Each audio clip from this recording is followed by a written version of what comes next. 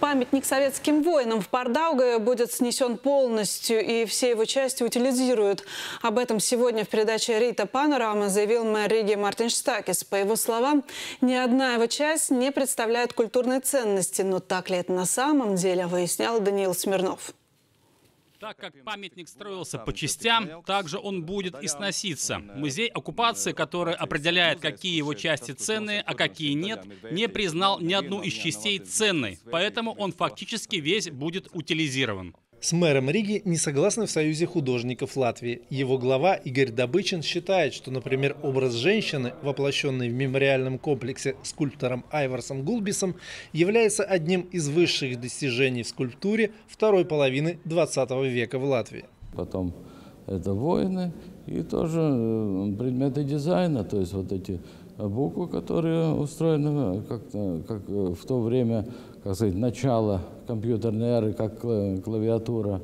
И э, тоже вот эти э, звезды, которые очень изготовлены на высоком техническом уровне. По словам художника, скульптуры комплекса не сильно идеологизированы. Так советские воины уже облачены в образцы ленд-лизовской формы, присылаемой западными союзниками, а образ оружия не столь детализирован, чтобы угадывались его какие-то конкретные образцы. Я, в общем-то, оптимистически смотрю на, на, на, решение этого и с большой надеждой, потому что за нами все-таки смотрят и, как сказать, наши соседние страны, которые, в общем-то, с этой проблемой справились очень культурно. Э, без каких-то э, ритуальных процессов. В Союзе художников говорят, что еще намерены обсуждать с Рижской думой возможность сохранить части памятника и готовы предоставить для их хранения собственные запасники. Президент Латвийского союза архитекторов Юрий Спога сам участвовал в парламентских дискуссиях о сносе памятника.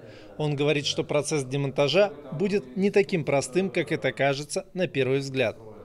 Первый этап – это документирование, фиксирование всех этих объектов, сканирование и, так сказать, э, отдача э, информации соответствующей там архивы. Потом, по словам главы Союза архитекторов, будет работать государственная экспертная комиссия, которая еще определит культурную ценность элементов памятника.